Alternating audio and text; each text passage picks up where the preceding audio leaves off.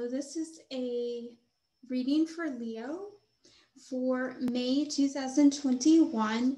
This is a collective reading, so it may not resonate with everybody. It is just for Leo in general. So let's get started. see what you need to know here in May.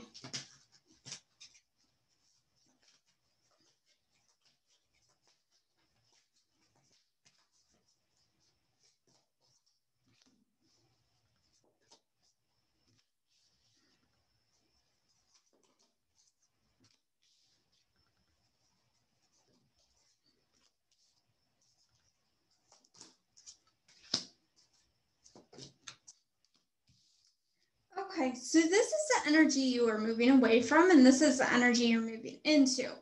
So if there's been any sort of sadness or disappointment, um, that is coming to an end, that is coming to a close. Um, it looks like you've been dreaming a lot, uh, dreaming a lot about the future, your goals, um, coming up with maybe some inspiration, um, really wanting some freedom, some inspiration, some creativity.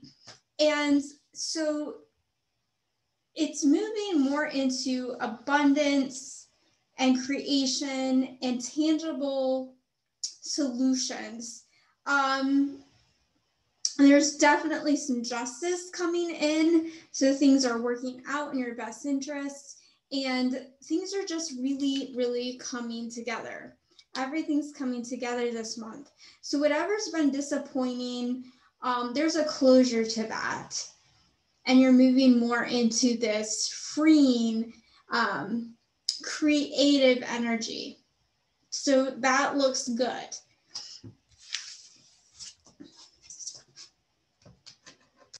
Okay, so I'm gonna do something that it's pretty cool here. I've got some inspiration to use some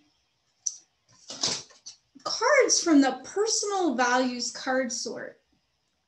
So that is something that I don't think other people are doing. So this is pretty cool. This is something I've done in therapy, but I got this inspiration to do it here in tarot reading, which I think is pretty cool here. So let's pull some cards here to see what you're going to be focused on this month or what you should focus on this month. What can you expect here? Okay. okay. Now pull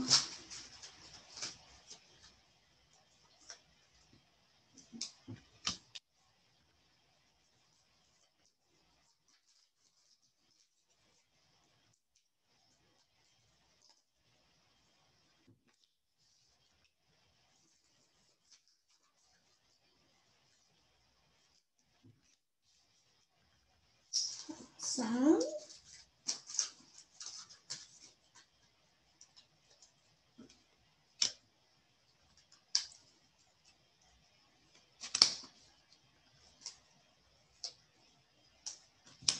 All right. So over here, we have cards that are just, you don't need to worry about. It's just naturally coming to you. Okay. Duty. Duty. So to carry out your duties and obligations, you've got that down. So you don't have to worry about that. That's just going to naturally come to you this month. Your your duty.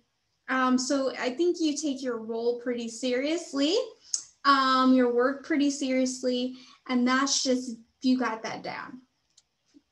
There's a lot of stability, I think, in your life. You've really gained and become stable very grounded. Um, we've got foundation down. So it says stability to have a life that stays fairly consistent. So you've got that. And romance. You've got the romance. That's coming this, uh, you, you've got that. So you can see this in your life. It's just going to naturally come to you. You don't really, you can sit back. Your romance is taken care of this month, okay? So romance to have an intense, exciting love in your life. Um, I'm getting the sense that it might be relationship though. And and then over here we have some areas this month though you that you might want to focus in on and to really these are areas where you can put more energy into and need to be cultivated.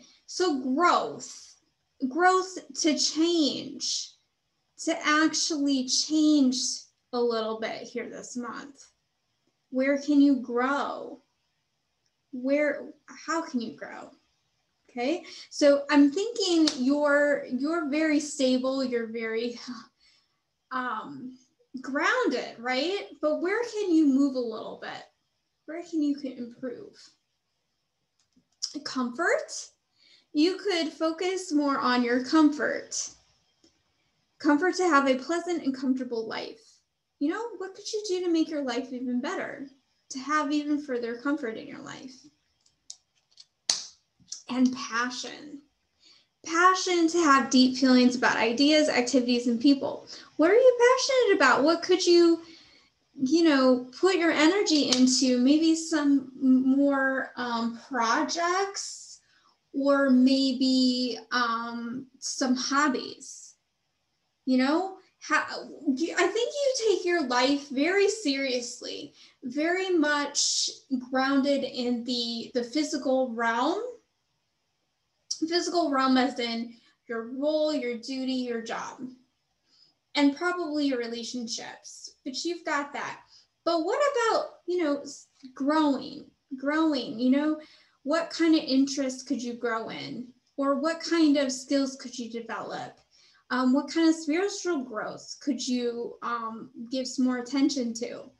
And then comfort, comfort in your life um, you would probably benefit from maybe looking at just it keeps coming to me like maybe your house you know how could you maybe expand upon your house to make it more comfortable or to make things just easier for yourself right? For some reason i keep i keep just getting an image of a house and the interior of a house. So maybe there's something that you could do with with the interior of your house. And then passion you know passion is a very um, creative kind of energy an internal energy so maybe spend some time more on your feelings and your ideas um, that internal source of yourself so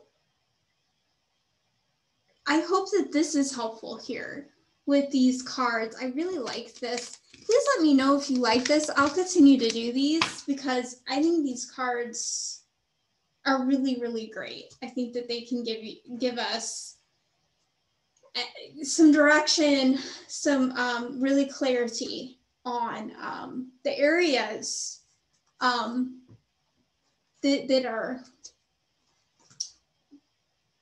you know, to give us some further messages, in other words, is what I'm trying to say.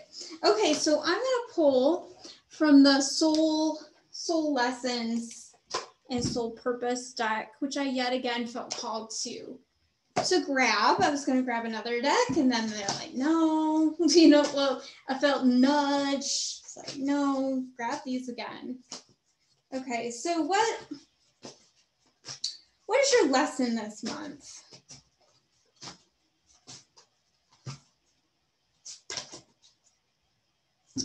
Admit your vulnerabilities.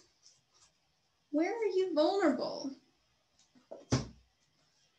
Vulnerable? What areas are you neglecting? That's coming to me. Like, what? Where are you neg- neglecting? Why? Why? Why are you putting in all so much energy in one area and neglecting other areas? Because we want balance. We want balance in our life are you neglecting, are you putting all your energy into work and your family and neglecting your self care or neglecting your spirituality or neglecting your creativity? Are you putting all your energy on, you know, the external and neglecting your home? What are you doing here? You know, what are you spending so much time in and what other places in your life are you not spending enough time in? So that's what I'm getting with this. Okay, it's it's also got a house on there. So there's something about houses houses with this. And looking at this picture, it's got a fire and some water coming out of the house. Okay.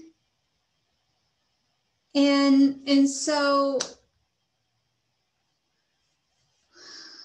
for some reason I really just get the sense this is this could be an actual house, a physical house here in the real world, not like a symbolic thing, although for some it may be.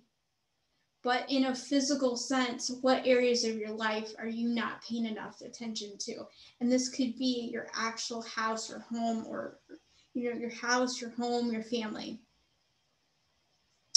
So that is the message that I'm getting for you for May. Let's um just gonna end here, but let's pull some even further cards from the tarot deck here to just maybe expand upon this just a bit.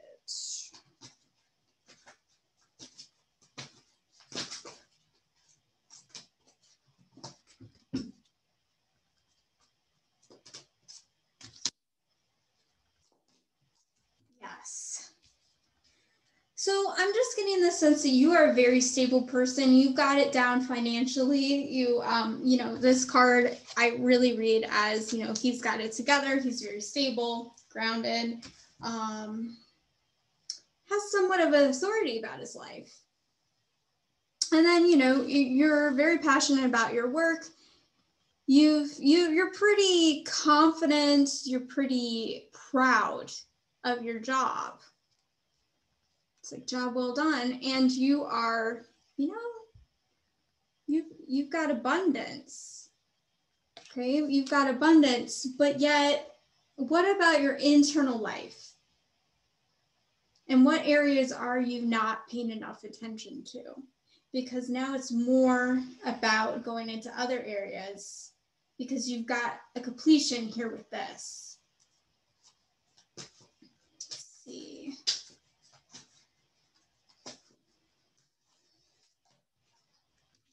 you're definitely you're transforming. It's time to transform. Maybe spend some time being kinder to yourself and putting yourself into that place of, of value, service, creation. Yes, going inward. Inward. Going within for yourself, recognizing who you are. There's more to you than just your role and your job. It's time to move past that. Don't neglect that. You know, you, you keep doing what you're doing, but expanding yourself. Yeah. Things yeah, being more of a creative force. Um, I think you've got the masculine down, but it's time to develop your feminine energies. That's what I'm getting with this. I'm thinking this is this is about the feminine energies, the creative force here, your emotional body, and then balancing the two. So that's what I think the message is here and the takeaway. So I hope that this was helpful. Um, I hope to see you every month. I, I, plan on doing this every month. And let me know about that card sort because I think I think it went really well. I think I'm going to continue to do that. And if you like the card sort um, cards in here, please let me know. Or if you don't like them. So I will see you next month, and I hope your month goes pretty well. Have a good have a good day, good month, Leo.